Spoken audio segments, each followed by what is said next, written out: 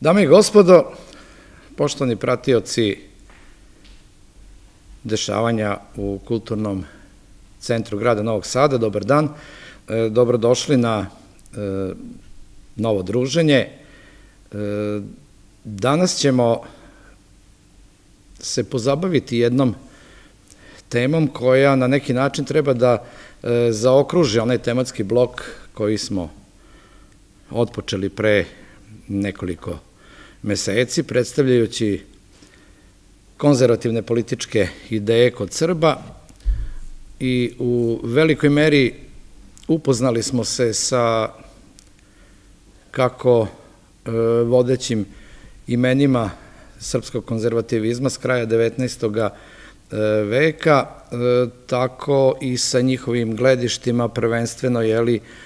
vezanim za uređenje države, za potrebu modernizacije tada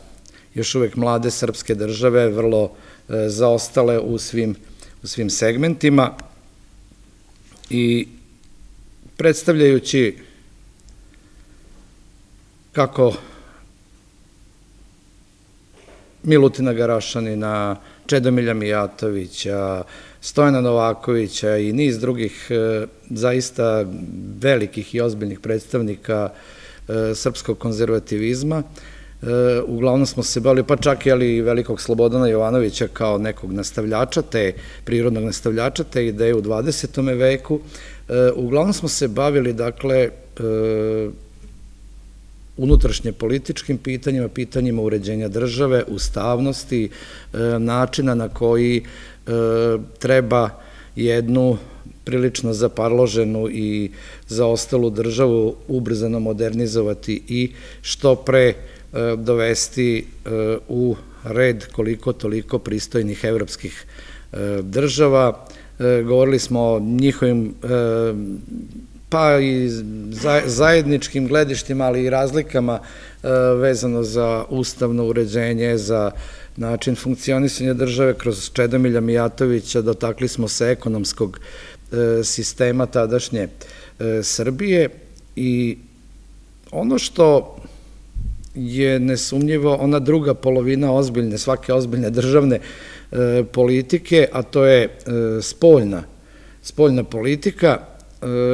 o tome nismo govorili i to smo nekako ostavili za danas iz jednog vrlo jednostavnog razloga, a on je pre svega zato što među tim velikanima srpske konzervativne, ili možemo slobodno reći u neku ruku e, liberalno-konzervativne e, ideje. E, krije se i ime koje smo pominjali, to je Milan Piroćanac, to je prvi predsednik naprednjačke vlade Kneževine Srbije, kasnije Kraljevine Srbije, koji je u nasleđe ostavio jedan neveliki tekst koji možemo slobodno i koji većina ozbiljnih e, teoretičara doživljava kao u neku ruku Bibliju e, srpske spoljne politike ili jedan ozbiljan programski dokument u najmanju e, ruku koji ne samo da omeđuje potrebe pozicioniranja Srbije u međunarodnim odnosima svoga doba, nego kada se taj Piroćančev tekst pomno i detaljno čita, a zbog onog arhaičnog stila i jezika prirođenog onom vremenu s kraja 19. veka, dakle, punog arhaizama i pojmova koji su polako već i E, izumrli u savremenom srpskom jeziku i ne koriste se toliko često. E, zgodno je taj tekst pročitati e, nekoliko puta. Svako novo čitanje praktično otvara nam nove vidike i nove dimenzije ozbiljnosti, utemeljenosti Piroćančevog teksta i reč je dakle o jednom ozbiljnom, ozbiljnom dokumentu koji može i dan danas da nam posluži kao reper, kao orijentacija, kao uzor na koji način jedna ozbiljna država, jedno ozbiljno društvo treba i mora nužno da pristupi međunarodnim odnosima, pozicioniranju svoje države u bližem ili širem okruženju, kako bi na ajde da kažemo, pošto nikada ne može u međunarodnim odnosima ostvariti maksimum, ali kako bi e, se u datim okolnostima e, uspeo ostvariti e, maksimalan interes za samu, samu državu. Ukratko ćemo samog Milana Piroćanca i predstaviti, jer o njemu i nismo previše do sada govorili, osim što je uglavnom pominjan uz ovu plejadu mislilaca i delatnika 80. godina predprošloga veka. E, dakle, ukratko, e, Piroćanac je rođen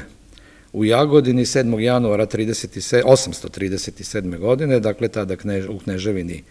Srbiji i živeo je 60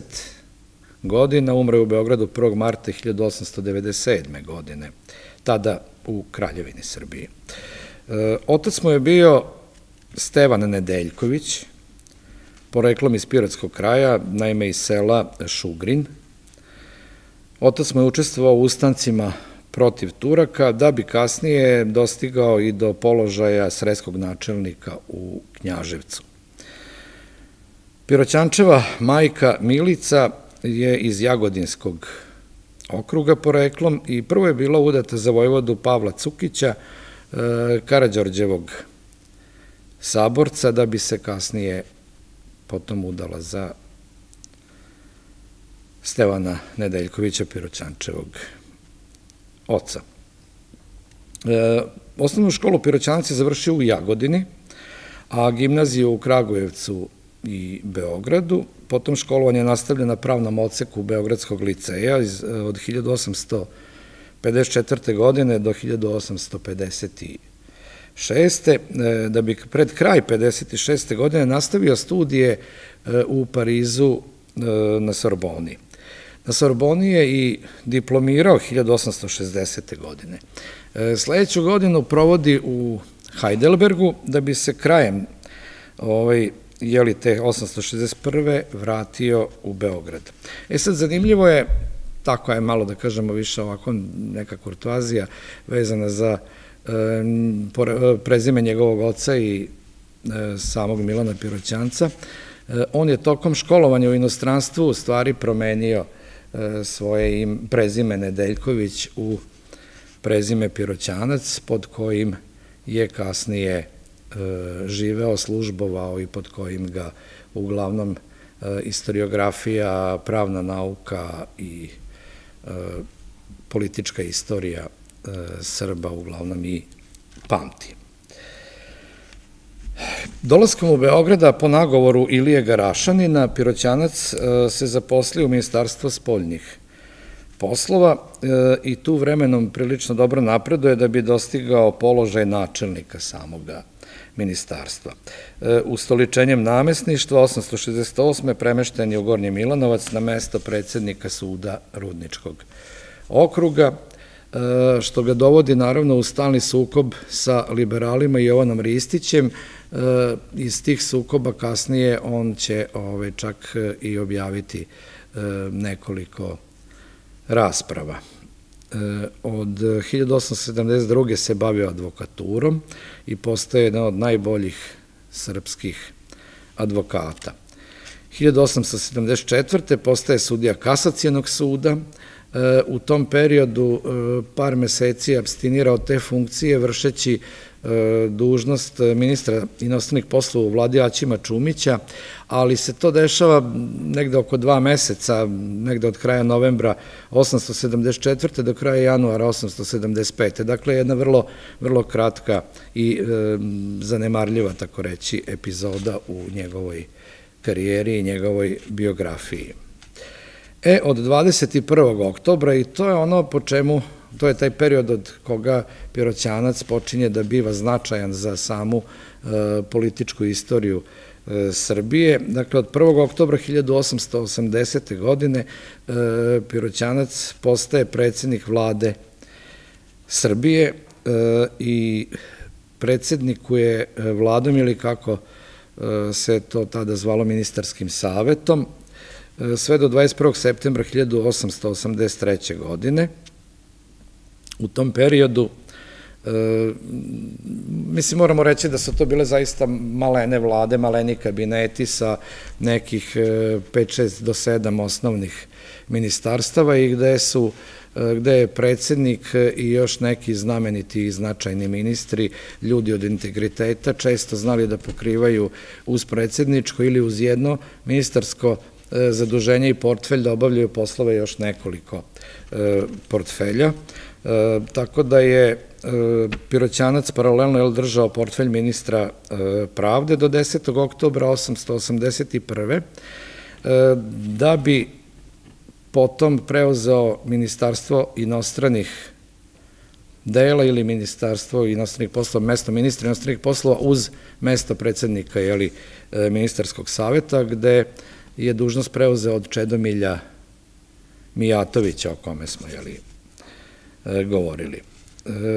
Piroćančeva vlada je podnela ostavku posle neuspeha na izborima septembra 1883. godine. Već smo u prethodnim mesecima o tome nešto i rekli. Dakle, ta vlada je ostala upamćena kao vlada koja je započela ozbiljne procese e, modernizacije Srbije i to zaista na svim mogućim poljima e, gde god se smatralo za e, nužno da se Srbija poboljšava, dovodi u red i da se podvrgava jednom procesu napretka i e, progresa. Doneti su slobodoumni zakoni o štampi, političkom zborovanju, političkim udruženjima, nezavisnim sudovima. E, ti zakoni su omogućili pojavu moderne političke organizacije i pravne države u samoj Srbiji. Dakle, oni su e, postavili one temelje modernosti u tadašnjoj Srbiji za koje su smatrali da, da, da je zaista e, nužnost i neophodnost kako bi e, Srbija mogla ubrzanim koracima da se priključi ali, porodici e, modernih nacija u Evropi, a i govorili smo i možemo podsjetiti činjenice da su to uglavnom đaci koji su svoja školovanja završavale na zapadu, od Francuske, Nemačke, uglavnom nekad Ženeve, jeli, ali uglavnom se, da kažemo, taj, taj duh modernosti koji su oni svojim povratkom u Srbiju doneli, da kažemo, zapatio i primio u državama u kojima su oni u stvari završavali svoje visoke škole. E, u tom periodu za mandata Piroćančeve vlade potpisana je ona takozvana ona kontroverzna jeli, ovaj, tajna konvencija sa Austro-Ugarskom monarhijom 1881. E, tu konvenciju smo pominjali kada smo predstavili Čedomilja Mijatovića, jer je on bio neposredni potpisnik e, te konvencije. I Ta tajna konvencija sa Austro-Ugarskom je praktično strateški e, malu tada malu e, zemlju, Srbiju, e, strateški i, i, i, i u svakom pogledu vezala i možemo slovno reći odvela u zagrljaj u Austro-Ugarskoj monarhiji. Piroćanac je zbog te konvencije bio izložen kritikama i on i njegova vlada. E, u tim momentima često je e, nudio svoju ostavku, davao, bio spreman da se povuče, međutim e, od toga nije bilo ništa i on je nastavio da ipak vodi vladu do 883. godine. takođe, ta vlada je, kada je reč o odnosima sa Austro-Ugarskom, sklopila i trgovinski sporazum sa ovom silom, što je u velikoj meri omogućilo da se pre svega poljoprivredni proizvodi, a i šta bi drugo, jer Srbija je u tom periodu bila dominantno agrarna e, seljačka e, država, da se dakle e, poljoprivredni proizvodi mogu plasirati i izvoziti pod povoljnim uslovima na tržište tada velike crnožute monarhije. Započete su gradnje železnice, izgrađene su pruge Beograd-Niš, Niš-Pirot. E, prvi put je Srbija aplicirala na finansijskom evropskom tržištu i za kredite, e, jer praktično do, e, do te neke ekipe ljudi koja je preuzela da vodi Srbiju 1880. i nije bilo kadrova koji bi to čak i na tehnički način do tada umeli e, da izvedu. Izvršena je reforma vojske, ustanovljen je jeli, model takozvane stajaće vojske e, i Piroćanac je imao i ozbiljnu ambiciju, veliku ambiciju da e, izvede i ustavnu reformu, međutim, po tom pitanju naišao je na ozbiljan otpor samog kralja Milana i taj posao nije urađen po zamisli samoga Milana Piroćanca. E, takođe je bio i šef Srpske napredne stranke. E sad to, kada čitamo biografske podatke svih e, konzervativnih naprednjaka toga doba, mi znamo da se u tom nekom periodu šefovanje strankom da je bila nekako dosta fluidna kategorija i da su se smenjivali, jer E, kao šefovi stranke pominju se i sam Milutin Garašanin i Stojan Novaković i Čedomilj Mijatović, e, ali dakako ovaj, e, Milan Piroćanac je u tim prvim momentima kao jedan od prvih osnivača stranke bio i njen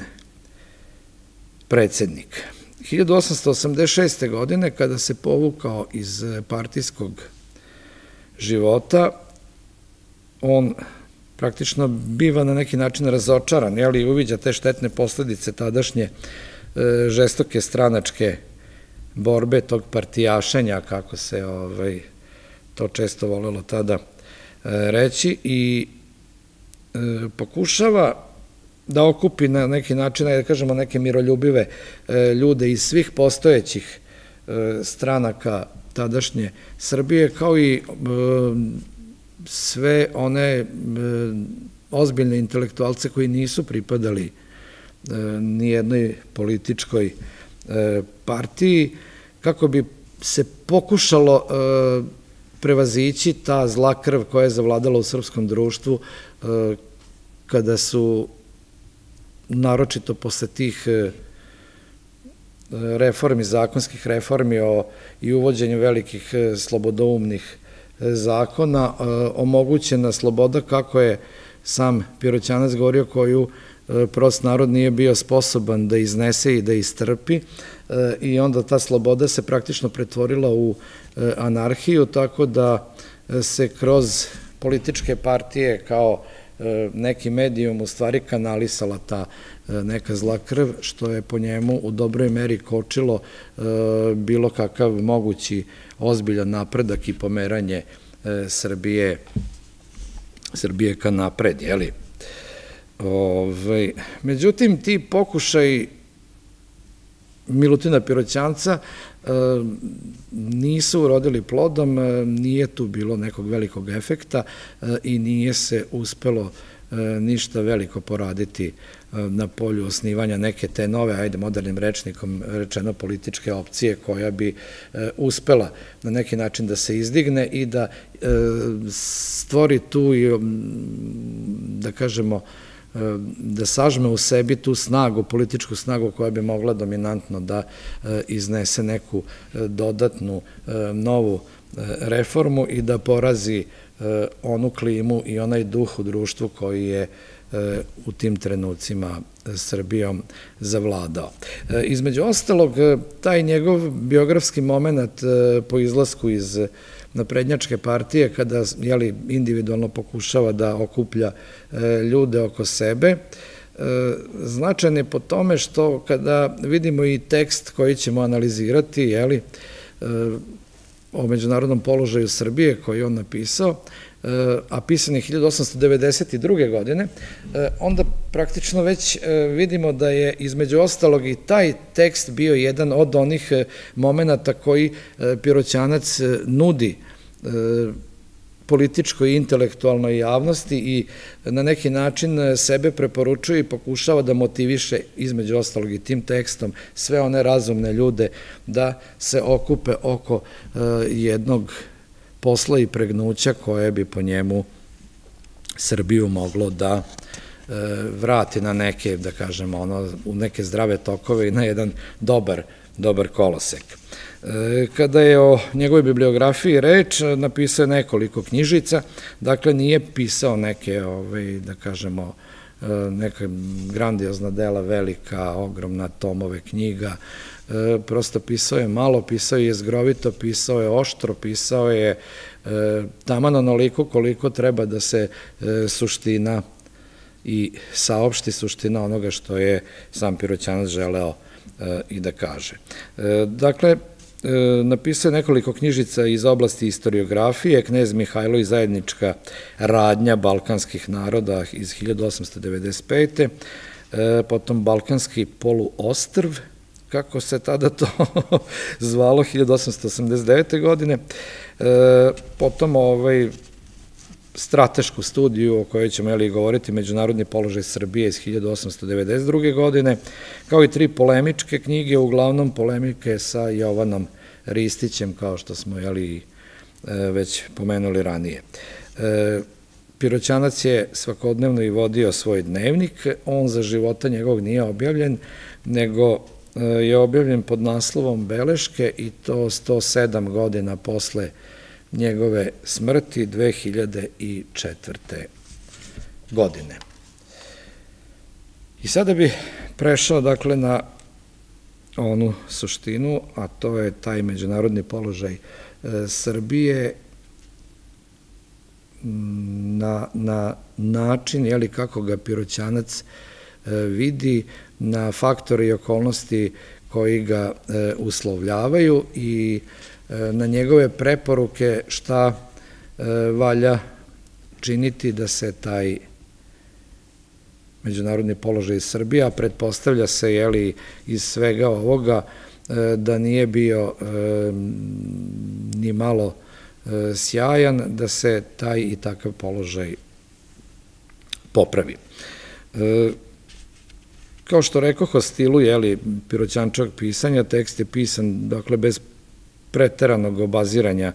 ovaj, na stil. E, on svoje ideje saopštava vrlo pragmatično, dosta oguljeno i grubo. E, prosto možemo reći da kada svoje političke stavove i ideje saopštava da, je, da mi u stvari vidimo da je reč o jednom surovom realisti operesanom od svake moguće emocije, dakle jednom čoveku koji e, kroz politiku pa i tu granu politike međunarodnih odnosa i međunarodne e, politike e, ne vidi ništa drugo osim onog golog interesa i taj pristup je možda zanimljiv i upravo je značajno ovo njegovo štivo i čitati u stvari da bismo eto koliko 130 jeli, godina posle E, pisanja e, ove studije, e, da bismo videli koliko je ona i danas aktuelna i koliko možda današnjim delatnicima, ne samo našim, nego i u okruženju i u svetu, u stvari fali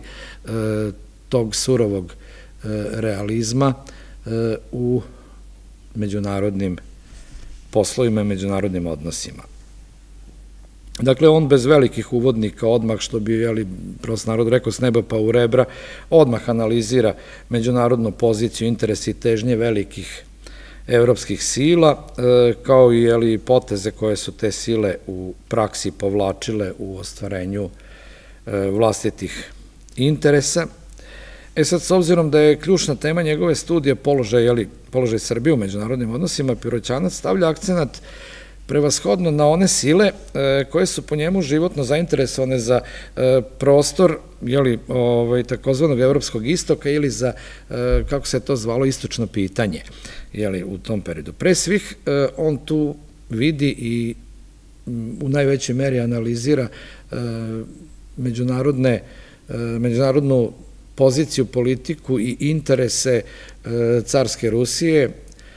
Austrije, Austro-Ugarske i e, Nemačke, ili kao naslednice Pruske, e,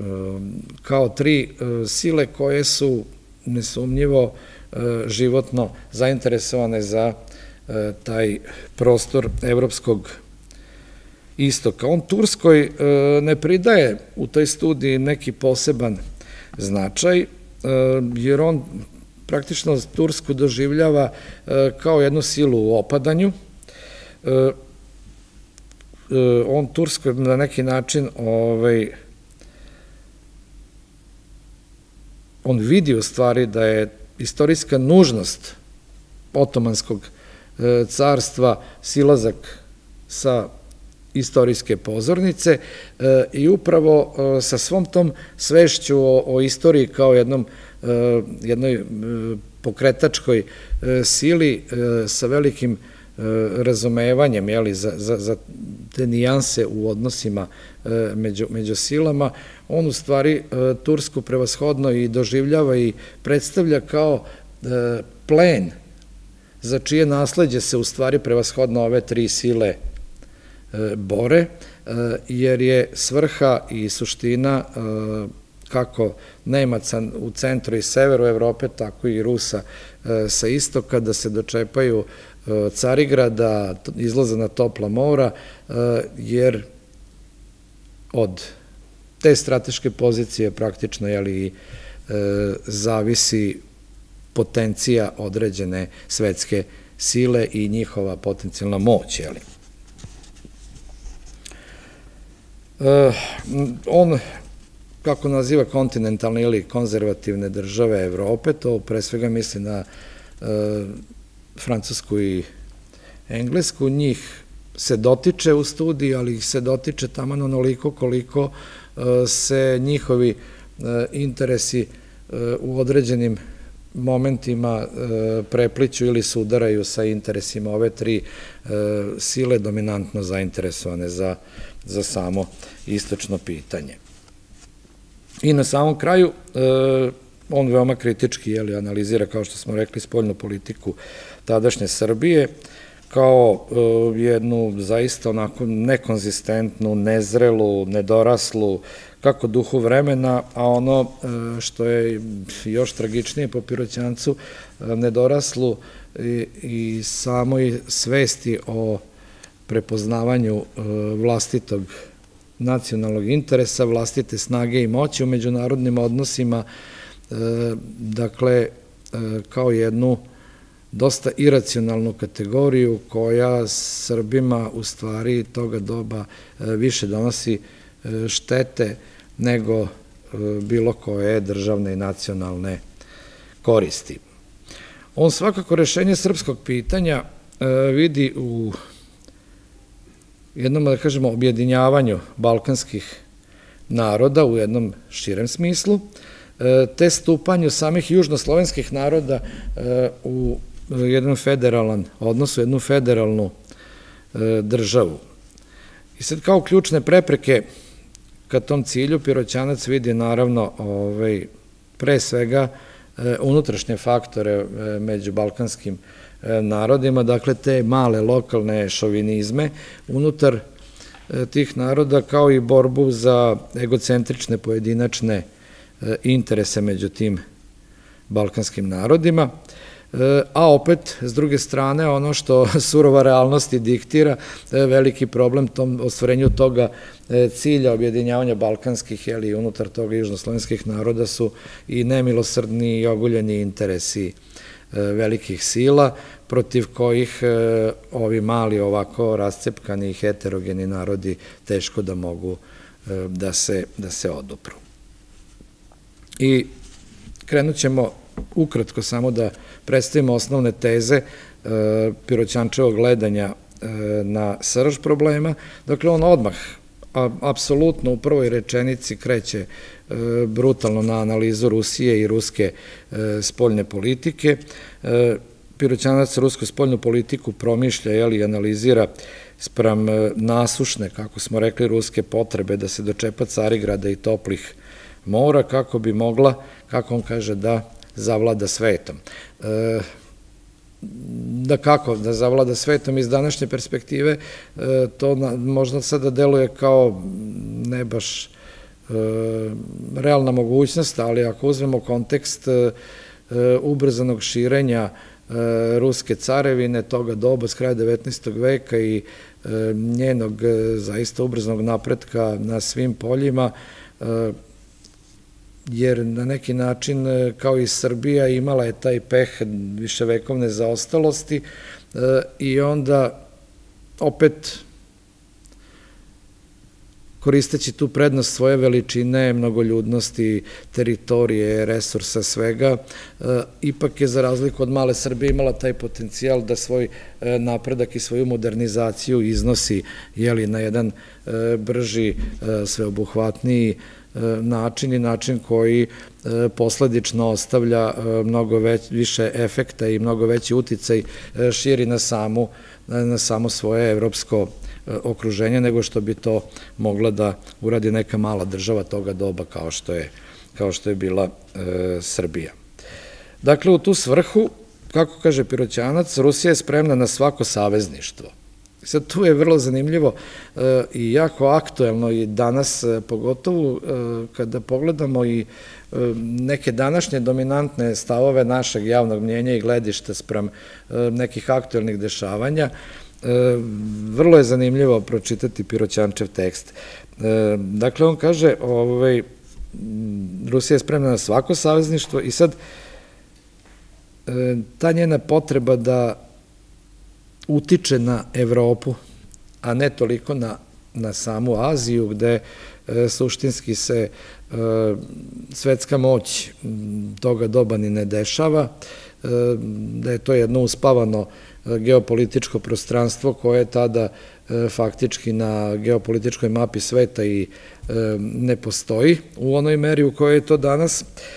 ali on kaže Rusija, sad citiram ga, Rusija radi u Aziji, Samo onda kada joj je nemoguće da što u Evropi preduzima. Dakle, kada je samo u diplomatskoj i međunarodnoj defanzivi, e, Rusija se vraća Aziji kao nekom, da kažemo, ono sigurnoj kući, jednom odmorištu za novi e, atak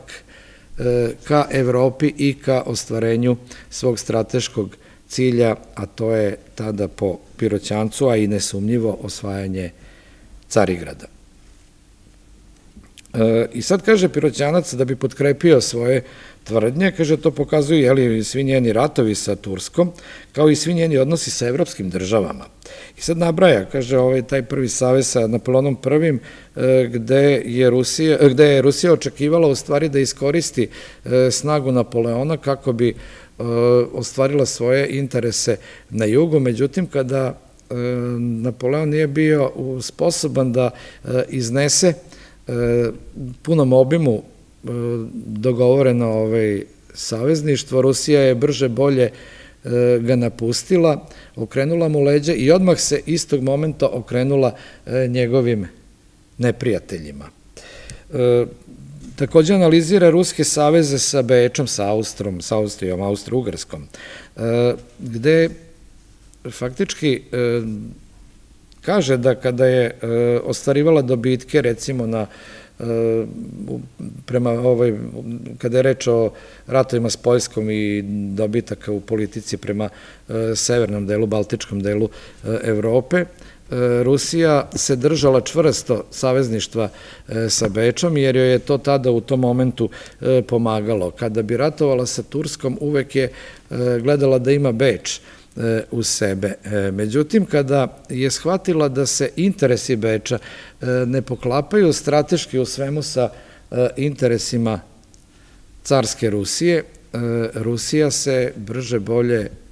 okrenula Pruskoj, to jest kasnije Nemačkoj, i na tim sitnim antagonizmima među Germanima uvek je nekako huškala e, pruski i nemački faktor e,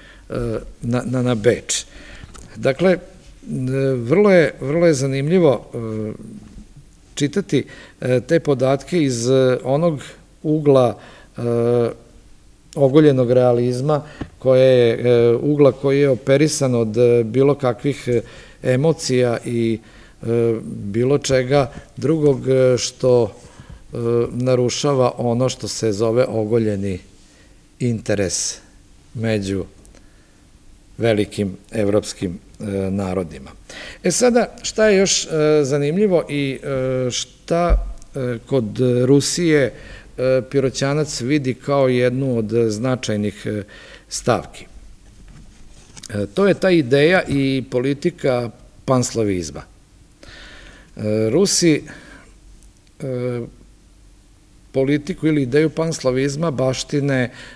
zagovaraju e, i nema sumnje, e, čak Piroćanac ne spori i ne sumnja u iskrenost njihove želje da se do toga cilja dođe. Međutim, on tu izražava jednu ozbiljnu rezervu, pogotovo kada su Srbija, jeli, a rasprava se najviše tiče srpske države, kada su Srbi u pitanju, on e, ukazuje na to da će Rusi uvek kao velika sila e, napraviti dogovor i sporazum sa velikim silama i to će biti uvek najčešće protiv interesa malih naroda, pa i protiv interesa Srba. Pritome kritikuje tu iracionalnu, nekritičku, gotovo ne znam kako bih nazvao tu osobinu e, Srba da e, prema Rusima mm, ili na Ruse da gledaju e, sa toliko srčanosti i racionalnosti da nisu uopšte ovaj, sposobni da u toj zaslepljenosti prepoznaju ni minimum vlastitoga, vlastitoga interesa, jeli? E sada, ta ideja panslavizma, dakle, po e, Piroćancu, e, veoma je značajna za Rusiju, ali mali narodi po njemu moraju, a pre svih srpski narod, e, moraju da shvate da Rusija kao velika sila prema sebi nema pravo da žrtvuje svoje interese na uštrb malih i da tu kroz te tanane međunarodne odnose mali narodi uvek moraju vrlo oprezno E, da, da postupaju prema e, potezima Rusije, naročito zagovara da Srbi moraju biti oprezni jer e, stara ona postavka koju i danas praktično svi volimo da kada analiziramo međunarodne odnose da, da, da pomenemo, to je da će Rusi uvek preodigrati na Bugare zbog strateške pozicije Crnoga mora i svega kao saveznike,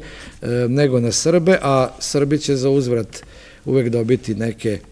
mrvice sa stola i kada se podvuče crta, žrtve koje su podneli uvek će biti mnogostrko e, veće od onog dobitka koje će na kraju uspeti da e, ostvare i da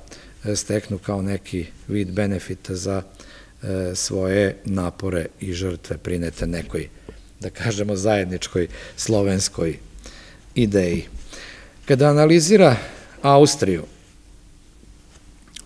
Piroćanac zaista nekako ono nam otvara te, te neke e, vidike i neke e, momente koje na prvi mah e, čovek nezainteresovan za međunarodne odnose ni ne primećuje, jeli? I mi vidimo u stvari da, da je Austrija jedna možda od najzanimljivijih zemalja toga, država toga, Austro-Ugarska, jeli, država toga doba on napominje da postoji jedna jedna navika koja se podrazumeva nekako u toj kontinentalnoj ili konzervativnoj Evropi, kako je on naziva, misleći pre svega na, na Francusku i, i na Englesku. Dakle, u očima te konzervativne Evrope, Austrija se po Piroćancu još uvek nekako po navici doživljava kao ili nemačka država. Međutim, ono što Austriju čini specifičnom. To je da u njoj pored Nemaca žive još i Mađari, žive Sloveni, žive Rumuni i žive Italijani. E sad, na takvu Austriju ili Austro-Ugarsku sa svim tim njenim specifičnostima, e, u stvari, ajde da kažemo, Evropa i ponajviše računa u raznim svojim kombinacijama E, pogotovo kada je u pitanju ostvarenje jeli, ciljeva e, na evropskom istoku. E, istupanjem iz Nemačke konfederacije, jeli, uzimanjem Mađara u Savez, Austrija je po svim parametrima prestala biti po Piroćancu Nemačka država i ne treba je u tom kontekstu više definitivno ni e, posmatrati. E, tako da, e, zbog tog nekog dualnog odnosa koji se jeli, e, stvara sada sa tim e, mađarskim faktorom unutar Austro-Ugarske carevine i zbog prisustva jeli, svih ovih drugih e, etnosa unutar e, monarhije, dakle slovenskih plemena, Italijana, e, Rumuna. Po Piroćancu takvoj Austro-Ugarskoj predstoji ili ubrzano raspadanje i nestanak sa političke scene, ili joj sledi transformacija u neki oblik, ajde da kažemo, federativne države. Sad, to je vrlo zanimljivo, e, jer to nismo pomenuli, ali iz, može iz poteksta da se e, prepozna. E, Piroćanac je u svome dobu slovio kao ono, germanofil, austrofil, kako da kažem, kao neko ko je naginjao Beču. Međutim, e, kada pomno i detaljno čitamo ovaj tekst, onda mi u stvari vidimo da e, njega Beč nije fascinirao na tom ličnom, emotivnom nivou, e, jer kao zreo političar zaista je i delovao vrlo, vrlo ovaj, lišen bilo kakve, bilo kakve emocije u, u, u samoj politici, nego više je čak i ta etiketa e, i to njegovo e, protežiranje na neki način Austrije više je plod da kažemo, njegove svesti da se interesi Srba u tome trenutku ili srpske države e, po najviše i na najlakši način možda mogu ostvariti upravo kroz samu, samu Austriju. I sada kada vidimo ove momente koje ću sada reći, onda u stvari vidimo da on pokušava da kandiduje neke ideje koje bi mogle da spreče rat, turbulenciju, gubitak ljudskih života, da spreče velika razaranja u ekonomiji, jeli, gubitak ljudski, ovih velike žrtve ljudske i da u suštini kroz tu priču o e, federalizaciji samoga Balkana, federalizaciji e, same Austro-Ugarske e, monarhije kao modela njenog opstanka ili jedinog mogućeg modela i varijante njenog opstanka na istorijskoj sceni, on u stvari tu projektuje upravo taj ogoljeni srpski nacionalni e, interes koji bi se e, mogao, da kažemo, bez opaljenog metka e, ostvariti. Svakako ne u punom kapacitetu, ali nesumnjivo u mnogo većoj meri nego što bi to turbulencije, revolucije i ratovi mogli, mogli da donesu. Dakle, kao što rekao smo, kroz taj proces federalizacije Piroćanac je li u stvari vidi tu mogućnost rešavanja e, južnoslovenskog pitanja. Kao problem u ostvarenju tog cilja on više e, apostrofira, jeli, kao što sam rekao, i Mađare, jer on Mađare nekako doživljava e, kao još uvek e, istorijski ne toliko zrelu državu i naciju, koliko je to istorijski već i življen, staložen, pozicioniran i ukotvljen Beč i, i sama, sama ona austrijska austrijska elita državna, tako da u Austrijancima vidi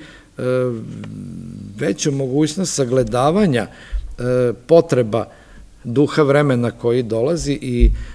možda potencijalno veću spremnost da se u jedan takav posao uđe i da će prepoznati u stvari potrebu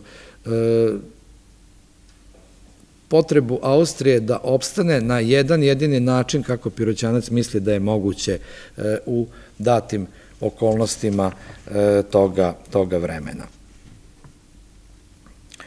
E, dakle, on procesom te federalizacije Austro-Ugrske vidi neku vrstu relaksacije, da kažemo, istočnog pitanja, jer, e sad, citiraću samog Piroćanca, ukoliko bi Austrija, kako on kaže, htela vojno ili osvajački da reši istočno pitanje, imala bi protiv sebe sve države kontinentalne Evrope, sem Nemačke, i balkanske narode i Ruse. I izuzimajući Nemci sve svoje rođene narode, kako on, jeli, naziva taj konglomerat nacija koje Austro-Ugarsku čine. I nastavljamo, ali Austrija, i sad tu je ključ, ali Austrija kao federativna država svoga roda povukla bi tome sistemu sve balkanske narode, koji bi tim putem došli do njihovog narodnog ujedinjenja i do osigurane narodne samostalnosti, dobila bi na svoju stranu sve konzervativne evropske države i rešila bi na najsrećniji način i svoje unutarnje pitanje narodnosti. Svetska istorija poverila je u prvom redu i ovaj izuzetan zadatak dinastiji Habsburgovaca i skora će budućnost pokazati koliko se starog duha u toj e, proslavljenoj lozi i dan danas još može naći. Tu sada vidimo e, koliko jedan intelektualac, tada ne politički delatnik, e, šalje čak preko Beogradske čaršije i poruku samoj E, Austriji. Deluje malo ovako ovaj, dodvoravajuće i danas bi neko rekao, uh, baš se ponižava, ali koliko čovek razumeva duh vremena i koliko je spreman da jednu tananu poruku na jedan jako, jako fini, pristojan, diplomatski način pošalje tamo gde je on mislio da treba da treba poruka e, i da ode. Međutim, istorija je relativno brzo za par decenija pokazala da Austrija nije imala tu unutrašnju snagu. Nevolja Srba je bila da su oni nekako sticam okolnosti dopali upravo u taj direktan konflikt, posle čega se dogodilo ono šta se dogodilo, je li prvi veliki e, rat. I da Piroćanac da je bio e, živ, verovatno ne bi bio ni malo srećan e, rezultatima toga rata, jer to što je Austrija nestala sa političke i istorijske pozornice nije za Srbe, verovatno gledajući iz ugla Milana Piroćanca, neka dobit kada saberemo žrtve koje je e, država i nacija u tom velikom ratu podnala. E, samu Nemačku e, Piroćanac ne analizira toliko detaljno koliko ono samo u tom nekom trianglu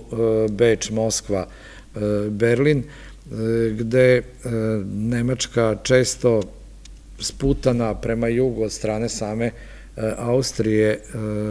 nije mogla da ostvari svoje strateške interese prema